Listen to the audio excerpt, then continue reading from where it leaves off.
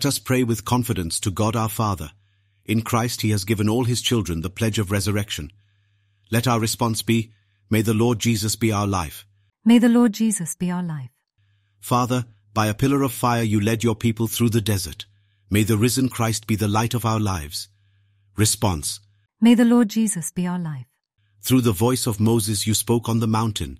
May the risen Christ be our word of life. Response.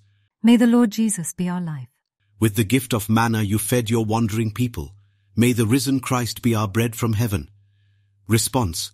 May the Lord Jesus be our life. You drew water from the rock to save your children. May the risen Christ fill us with his spirit. Response. May the Lord Jesus be our life. Lord God, you restore our human nature to a dignity higher than you gave it at creation. Look with favor on the mystery of your love. Keep your gifts of grace intact in those whose life you have renewed in baptism, the sacrament of new birth. Through our Lord Jesus Christ, your Son, who lives and reigns with you in the unity of the Holy Spirit, God, for ever and ever. Amen. Let us keep the following petitions in our prayers. For a person to be anointed with wisdom, courage, and grace from God. For a lady who is sick. For a husband admitted to hospital with gastric issues. Prayers requested by a family for various issues. For a man who is critical after a heart attack. For a nephew's intention. For healing of a man. Post-open heart surgery. Let us pray for all seminarians and novices to complete their journey, and that God uses each of them powerfully in his kingdom. Pray for all your personal intentions. Finally, let us thank the Lord for all the answered prayers. Lord, listen to your people pray. Lord, send your spirit in this place. Lord, listen to your people praying. Send your love, send your power, send your grace.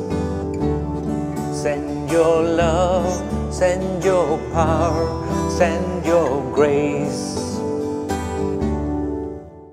Let us lift up all our intentions mentioned in this program as we pray together. Our Father, who art in heaven, hallowed be thy name.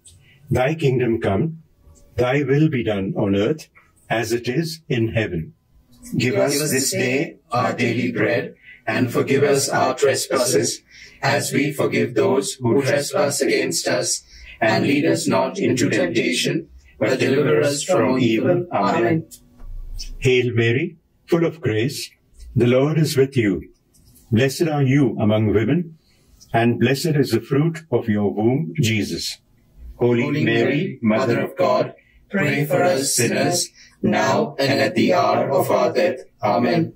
Glory be to the Father, and to the Son, and to the Holy Spirit, as it As was was in the beginning, is now, and ever shall be, world without end. Amen. You are not alone. Your brothers and sisters will support you in prayer.